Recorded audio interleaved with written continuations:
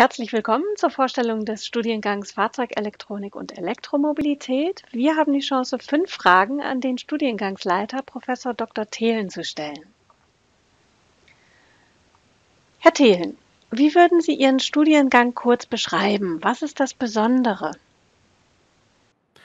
Ja, ich denke, das Besondere ist eigentlich, äh, man muss einfach nur, nur rausgucken. Wir haben im Moment äh, Klimawandel und ähm, wir brauchen in Städten mehr Raum. Die Städte werden überbevölkert. Es gibt mittlerweile äh, x äh, Megacities mit mehr als 10 Millionen Einwohnern, die explodieren förmlich. Ähm, wir sehen, dass es immer weniger Ressourcen gibt. Ähm, das Thema äh, Öl geht irgendwann zur Neige, äh, ganz, ganz zu schweigen vor dem hohen CO2-Ausstoß. Und äh, das heißt, Ressourcen und, und neue Technologien werden das Bild der Mobilität also in den kommenden Jahren ganz stark verändern. Also man muss sich das vorstellen, dass das wirklich eine Veränderung von der Mobilität ist, die, die stärker als, äh, als vor 100 Jahren der Wechsel von der, von der Pferdekutsche zum, zum Automobil. Und wir sehen da eigentlich wirklich vier Trends, die, ähm, die, die, die man da beobachten kann im, im Bereich Mobilität. Das eine ist, ist ganz klar ähm, die Elektrifizierung. Also es wird zwar immer diskutiert, brauchen wir jetzt wirklich das äh, ähm, elektrische Auto, das batteriebetriebene Auto, ist das wirklich die Lösung der Klimaprobleme? Man kann sagen, es trägt auf jeden Fall dazu bei, wenn die Batterie auch energieneutral hergestellt wird. Da arbeitet man immer stark dran. Das heißt also auch die Klimaneutralität von, äh, vom Elektroauto wird also wirklich immer besser werden und auf jeden Fall die ähm, Neutralität, CO2-Neutralität vom äh, Verbrenner auf jeden Fall übersteigen. Das zweite ist also ganz klar das autonome Fahren. Man hat das wirklich schon oft gehört. Gerade Tesla ist so ein Beispiel, die diese autonome Fahrfunktion zumindest als autonome Fahrfunktion verkaufen. Funktioniert noch nicht so ganz, es ist noch was holprig, immer mehr Autos. Vielleicht hat, hat einer von euch schon ein Auto zu Hause, wo der Vater ein Auto hat, was irgendwie schon im, im Stau automatisch hinter den anderen Autos herfährt, was auch eine Menge Sicherheit bringt.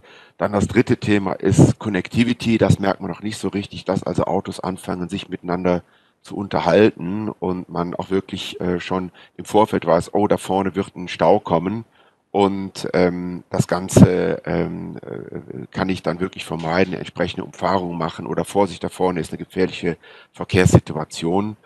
Und das äh, vierte ist die sogenannte Shared Mobility. Das ist fast eher eine betriebswirtschaftliche Frage. Man sieht das mittlerweile mit, ähm, mit äh, Systemen, BMW oder Mercedes bieten also äh, ähm, Systeme an, wo man sehr schnell Autos mieten kann. Das heißt, ich muss gar nicht mehr als einzelne Person ein Auto besitzen, sondern ich äh, miete mir eigentlich, ich möchte einfach nur noch vom, von A nach B kommen und ähm, habe dann äh, entsprechend die Möglichkeiten, das möglichst schnell zu machen, ohne ein eigenes Auto zu besitzen. So, was hat das Ganze mit unserem Studiengang zu tun? Und im Studiengang Fahrzeugelektronik und Elektromobilität werden Studierende also hierauf vorbereitet, dass diese technischen Probleme, die da drin stecken, zu lösen. Und die sind, man merkt das schon, das sind also alles wirklich ähm, elektronische, informationstechnische Probleme, die hier zu lösen sind. Da geht es wirklich um Antriebstechnik. Äh, wir lernen also wirklich alles, was, äh, was es in der Fahrzeugelektronik braucht, um diese Technologieentwicklung äh, und diese hierdurch entstehenden Probleme zu lösen. Also elektrische Antriebstechnik, ähm, Hochvolttechnik, Batterietechnologie. Ähm, das Ganze muss auch sehr sicher funktionieren. Und äh, wir haben Autos, die mittlerweile selber extrem intelligent sind. Also das ganze Thema KI kommt darin vor. Also es betrifft sehr viele Dinge. Das ist eigentlich so im Wesentlichen äh, das, was diesen Studiengang ausmacht. Wie viel Praxis steckt in diesem Studiengang?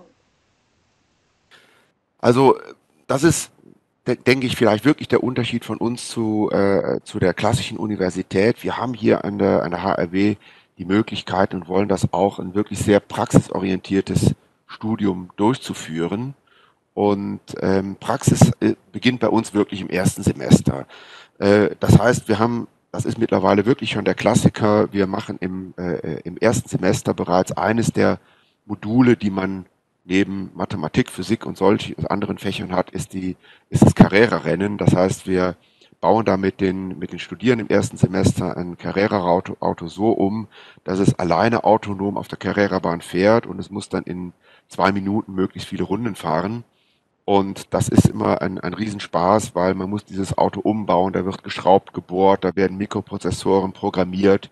Ja, das geht auch im ersten Semester, auch dann, wenn man noch nie einen Mikrocontroller in der Hand gehabt hat oder programmiert hat. Das ist alles nicht so schwierig. Alles, was man dafür lernen muss, ähm, bekommt man beigebracht. Die Unterlagen sind da. Wir haben Labore, die sind wirklich Tag und, naja, wenn man den Nachtwächter kennt, vielleicht auch schon mal nachts offen. Und da wird immer gebastelt und gelötet und die äh, Studierenden im ersten Semester sind also immer ganz heiß da drauf. Ich muss immer aufpassen, dass sie dann nicht die anderen Fächer vernachlässigen, weil, weil das so viel Spaß macht und am Ende des Semesters gibt es dann das große Rennen mit äh, Grillen und, und Würstchen von unserer Fachschaft. Und das Schöne ist wirklich an der Fachhochschule, dass die Leute wirklich diesen Zugang zu den Laboren haben. Also jeder Studierende bekommt so einen elektronischen Schlüssel und ähm, kann das machen. Später wird es dann ein bisschen ernster. Das ist also nicht nur so ein, so ein Rennen, sondern ähm, da gibt es dann wirklich, äh, müssen dann wirklich elektronische Komponenten von einem Fahrzeug entwickelt werden. Sogenannte Steuergeräte sollen selbst entwickelt werden nach Kriterien der äh, Automobilwirtschaft. Und das ist dann schon wirklich seriös. Da geht es darum, wirklich so ein Gerät auch kostengünstig äh, zu entwickeln. Das muss kniffligen Anforderungen genügen. Und ähm, was wir hier probieren, ist wirklich die Situation nachher im Beruf äh, in einer spielerischen Form im Studium abzubilden. Das können wir hier als Fachhochschule machen. Hierzu haben wir den ganzen Geräteparks äh, entsprechend ähm, mit, mit Messgeräten, Netzteilen und so weiter, auch Komponenten aus dem Auto, wo man dann wirklich auch dran arbeiten kann. Auch das macht eine Menge Spaß, ist natürlich ein ganzes Stück seriöser und natürlich dann auch im höheren Semestern ein ganzes Stück anspruchsvoller. Man weiß zu diesem Zeitpunkt ja auch viel mehr. Das dritte, was ich vielleicht als Beispiel nennen möchte, ist, ähm, wir haben hier ein Formula Student Team. Das heißt, äh, vielleicht habt ihr das schon mal gehört, das ist ein, ein Team, da arbeiten ganz viele Studierende dran. Mittlerweile sind 25 Leute in dem Team und wir bauen, es wird hier äh, ein Rennwagen gebaut, der an Rennen teilnimmt. Es tatsächlich unsere Hochschule hat mit diesem Elektrofahrzeug, Elektrorennwagen tatsächlich in Andorra schon mal den ersten Preis gewonnen. Da sind internationale Teams aus ganz Europa mit dabei. Da sind dann die Kommilitonen vom Maschinenbau, von Informatik, von den, von den Wirtschaftswissenschaften mit drin. Und äh, dort wird der Rennwagen gebaut. Wir haben mittlerweile die, die dritte Generation und der ist komplett selber gebaut. Das macht eine Menge Spaß und die Mitarbeit an diesem Rennwagen kann man sich eben auch als einzelnes Modul, nennen wir das hier in der Hochschule, also als einzelnes Fach anerkennen lassen in den höheren Semestern. Und das geht sehr gut. Also Praxis ist das, was bei uns wirklich ganz groß geschrieben ist. Welche Interessen und Fähigkeiten muss ich mitbringen, wenn ich diesen Studiengang studieren möchte? Also als erstes, und das ist wirklich das Aller, Allerwichtigste, man muss jemand sein, ähm, der sich oder die sich äh, vor allem äh, an begeistern kann für äh, Dinge, die, die irgendwie technisch sind, die mit Fahrzeug oder Elektronik zu tun haben. Ähm, vor allen Dingen also auch die äh, Interesse an der Lösung von kniffligen äh, Denkaufgaben, knifflige technische Probleme. Also auch ganz klar, wir machen hier nicht die ähm, Kfz-Mechatroniker-Ausbildung plus. Äh, darum geht es nicht, sondern es sind wirklich sehr anspruchsvolle Probleme, die wir lösen. Und wer da Spaß dran hat, ist auf jeden Fall hier richtig. Was hinzukommt, ist, hierzu, um diese Probleme zu lösen, braucht es vor allen Dingen eins, nämlich Kreativität. Jetzt denkt jeder, oh, Kreativität, Musik und Kunst war vielleicht gar nicht so mein Fach. Nein, es geht um Kreativität in der Lösung von solchen Problemen. Das heißt, durch Denken einfach mal ausprobieren wollen. Das ist eben irgendwie äh, wichtig, Kreativität und die Motivation, also dass man auch irgendwo neue Lösungen schafft. Ja. Dabei, und das muss man eben auch sehen, gerade in der Automobilwirtschaft, ist auch immer die Gründlichkeit im Denken äh, sehr wichtig, denn die Lösung muss am Ende auch funktionieren. Das heißt nicht, ich hau das jetzt mal irgendwie hin und schmier das irgendwie zusammen, sondern man muss sich da schon sehr in die Details einarbeiten wollen. Dazu muss man ein Mensch sein, der also auch in der Lage ist, wirklich auch schon ein bisschen Tiefgang mitzubringen und schon mal eine, eine Fragestellung wirklich auf den Grund gehen zu wollen. Es ist halt ein akademisches Studium und nicht irgendein ein Gebastel. Also eine gewisse Seriosität ist da auf jeden Fall dabei, denn in einem Auto muss nachher auch alles funktionieren. Wenn irgendwas nicht funktioniert, kann das natürlich auch schnell hier ähm, gefährlich werden, denn so ein Auto ist halt nicht nur Spaß, so ein Auto hat auch viele Sicherheitsaspekte. Das decken wir auch ab mit, mit sicherheitstechnischen Fragestellungen, das ist auf jeden Fall mit drin. Welche beruflichen Möglichkeiten erschließen sich mir denn nach meinem Studium? Ähm, das Studium ist also darauf ausgerichtet, äh, dass man hinterher Entwicklungsingenieur, Entwicklungsingenieurin im Bereich Fahrzeugelektronik wird. Dadurch, dass es aber ein sehr, sehr grundlegendes Studium ist, also auch sehr viele Grundlagen im Elektronikbereich hat, im Bereich KI, im Bereich Informatik, im Bereich Maschinenbau und so weiter, ist das ein sehr allgemeines Studium. Das heißt, wir haben wirklich einen, einen äh, Schwerpunkt im Fahrzeugbereich. Wenn man sich aber dann am Ende entscheidet, woanders hinzugehen, ist das äh, in der Regel überhaupt kein Problem. Die Ausbildung ist da grundlegend genug zu.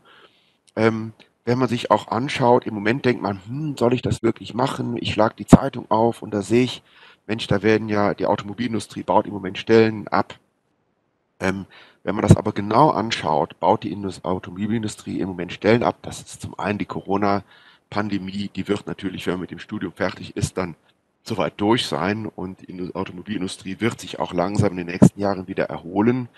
Aber dort, wo abgebaut wird, das sind die klassischen Bereiche, also wirklich der klassische Maschinenbau, Leute, die an den Verbrennungsmotoren und dem Zubehör dazu, äh, dazu arbeiten. Wenn man genau schaut, sind die Zeitungen und die Jobportale wirklich voll und das wird sich auch nicht ändern mit Stellenausschreibungen im Bereich Elektronik und äh, oder auch Fahrzeugelektronik. Da ist so viel zu tun. Die ganze Industrie ist im Umbruch. Wenn man schaut, zum Beispiel äh, die große deutsche Firma VW baut nur noch oder hat beschlossen, nur noch elektrifizierte Autos äh, zu bauen und weitere Fahrzeughersteller folgen. Ich habe jetzt gerade gestern gelesen, dass Mercedes jetzt auch führend werden möchte äh, im Bereich äh, elektrifizierte Fahrzeuge, im Bereich Wasserstofftechnologie. Also auch die Wasserstofftechnologie ist letztendlich eine eine Technologie, wo es um, äh, um elektrische Antriebe geht. Das heißt, da spielt die Elektronik ganz stark mit rein. Aber auch, wenn man denkt, auch bei Verbrennern, die noch einige Jahrzehnte sicher uns begleiten werden, ähm, braucht es autonomes Fahren und die Elektronik ist einfach hier wirklich die Säule, auf der so ein Fahrzeug steht. Das heißt, da ist auf jeden Fall ein Arbeitsplatz sicher. Die Leute werden eigentlich, ihr findet eigentlich hier allesamt sehr guten Job. Sollte ich einen Master aufsatteln, wenn ich beruflich erfolgreich sein will? Und wenn ja, welchen? Also zunächst mal die Frage würde ich mir vor dem Studium noch gar nicht so unbedingt stellen. Man sollte sich diese Option auf jeden Fall offen halten. Ähm, wir haben hier auch, das ist das Schöne, wir haben hier die, die Option, äh, einen Master äh, zu machen. Über den werde ich gleich noch ein bisschen was berichten. Wenn man, wenn man im Studium merkt, Mensch, also solche theoretischen Probleme, das ist wirklich was, was mir liegt und ich komme damit ganz gut zurecht, dann ist es vielleicht, äh, das ist eine sehr persönliche Frage, dann sollte man sich überlegen, ob man so einen Master macht. Dann bekommt man im Master nochmal eine ähm, Verstärkung des, des grundlegenden Fundaments äh, in theoretischen Fragestellungen da sind äh, Dinge wie theoretische Elektrotechnik, Systemtheorie und solche Dinge, die also mathematisch, theoretisch wirklich sehr anspruchsvoll sind. Wenn man merkt, das macht mir Spaß, sollte man das auf jeden Fall tun. Brauche ich das wirklich? Bei den meisten Jobs muss man sagen, die meisten Jobs, da kann man oder Karrieren kann man auch mit einem Bachelorabschluss erreichen. Ich kann eine tolle äh, fachliche Karriere machen. Ich kann Projektleitung machen. Ich kann äh, Führungsaufgaben übernehmen. Ähm, das geht also alles mit einem Bachelorabschluss auch. Wenn man natürlich einen Masterabschluss hat, kommt man vielleicht eher nach dem Studium direkt in, äh, auf, äh, wird man eher für Jobs äh, angenommen, wo direkt auf der Arbeit ähm, theoretischere Fragestellungen im Vordergrund stehen und ähm, die, äh, sag mal, wenn man sich jetzt vorstellt, wirklich anspruchsvolle Fragen wie die Entwicklung eines, eines oder Mitarbeit an äh, äh, an der Programmierung für autonomes Fahren oder komplizierte Hochvoltelektronik, die Entwicklung davon, die also theoretisch sehr anspruchsvoll ist, das Lösen von Problemen äh, von elektromagnetischen Störungen und so, wo man solche theoretischen Hintergründe braucht. Da hat man dann mit einem Master einfach bessere Chancen. Was kann man für einen Master machen? Bei uns schließt sich also nahtlos wirklich der Master Systemtechnik an. Da bekommt man wirklich dieses gute theoretische Fundament. Es qualifiziert einen aber darüber hinaus auch für viele andere Positionen in der Industrie sei das im, im Bereich Automatisierungstechnik, äh, sei das im Bereich Messensensortechnik, äh, sei das im Bereich Medizintechnik, wo auch immer. Ähm, das heißt, es verbreitert einen natürlich auch, auch da gibt es sehr viele Wahlmöglichkeiten.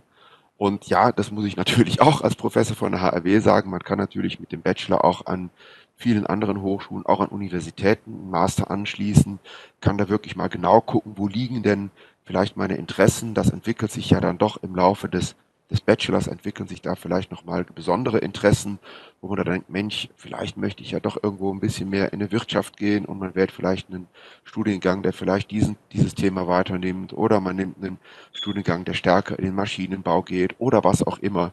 Da ist man völlig frei. Und wie gesagt, es bleibt eine sehr, sehr persönliche Frage, die man so im Verlauf des Studiums für sich eigentlich antworten kann. Wir tun alles dafür. Der Bachelorabschluss, den Sie hier machen, äh, oder den ihr hier macht am, äh, in der Fahrzeugelektronik und Elektromobilität, gibt auf jeden Fall genügend Grundlagen, um also jeden Master in einem technischen Bereich anschließen zu können. Man hat also alles, was man braucht. Man hat die mathematischen Grundlagen, physikalischen, informationstechnischen Grundlagen und so weiter, um also auch in angrenzenden Bereichen dann einen schönen Masterabschluss erreichen zu können. Herzlichen Dank, Herr Thelen, für das tolle Interview. Wer nach diesem Interview noch mehr erfahren möchte, der ist herzlich eingeladen, uns zu kontaktieren. Wir freuen uns auf Ihre Fragen.